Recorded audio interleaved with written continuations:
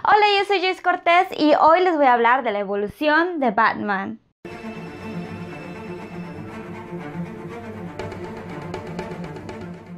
Hay tantas películas y series de televisión de Batman, pero estas son las que yo siento que marcan una nueva era, ya sea porque la animación es diferente, el punto en la historia de Batman es completamente diferente, o algunas historias son más oscuras que otras. En 1943 fue la primera vez que vimos a Batman en pantalla.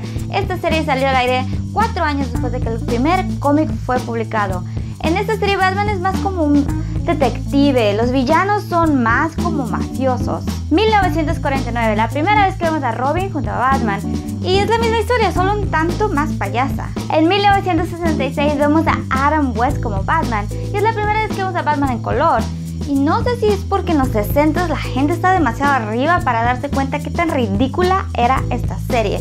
Porque ni siquiera lleva un traje, lleva puras mallas y así anda corriendo con la panza de fuera y hasta le muerde un tiburón y lo único que dice es, Robin, pásame el repelente tiburones, porque existe tal cosa en los 60.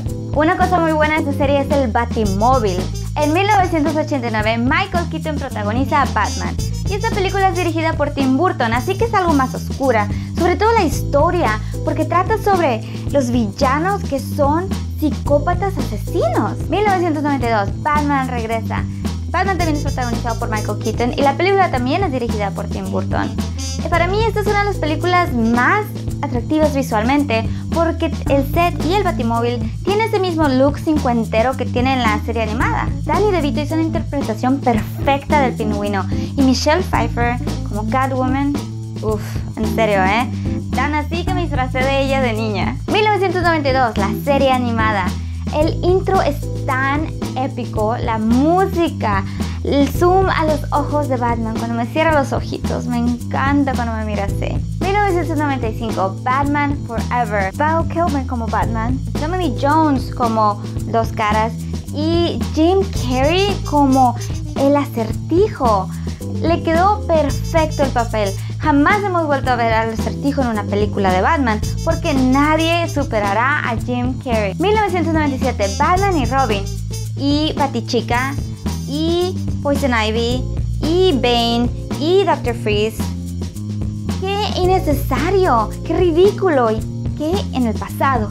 1997, Batman y Superman, la película. Esta es la historia de Batman contra Superman que el mundo merece. A pesar de que la historia también tuvo mucho que ver con Lois Lane y es un conflicto más personal entre Bruno Díaz y Clark Kent, la historia es súper buena porque Lex Luthor le paga al guasón para matar a Superman y este tiene a Harley Quinn con él. Muchas gracias, yo soy Joyce Cortés. Si te gustó el video, no olvides darle like, comentar y compartir. Y si quieres ver la parte 2 la siguiente semana, por favor suscríbete. ¿Matarte? No quiero matarte. No te quería sin ti. Tú me complementas. Esto es tan romántico. Eso está más cursi que The Notebook.